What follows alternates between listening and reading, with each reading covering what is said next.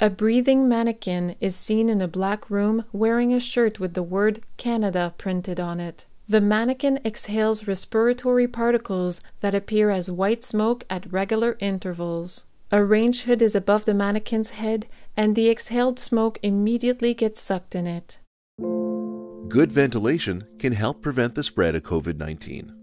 Run exhaust fans and open windows and doors when possible. The scene changes slightly, and now instead of a range hood, a window is now visible beside the mannequin. The window is open and the smoke disappears through the window as the mannequin continues to exhale smoke.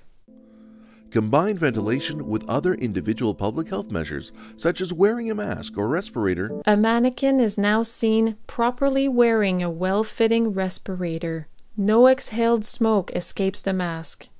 And choosing lower risk settings, such as uncrowded spaces. Two mannequins wearing respirators are seen sitting opposite one another at a distance.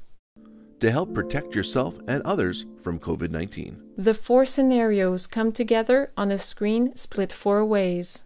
Learn more about ventilation and other individual public health measures at canada.ca slash coronavirus.